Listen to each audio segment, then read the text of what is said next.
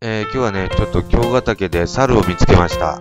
はい。えー、10匹ぐらいの群れでしたね。ちょっとスマホしか持ってこなかったんで、えー、ちょっと画像が乱れてますけれども、なんか木の実をね、よく食べてたんで、えー、それほど凶暴性は感じられませんでした。えー、なんかね、温厚なイメージでね、えー、おとなしかったと他の人も言ってました。以上です。ご視聴ありがとうございました。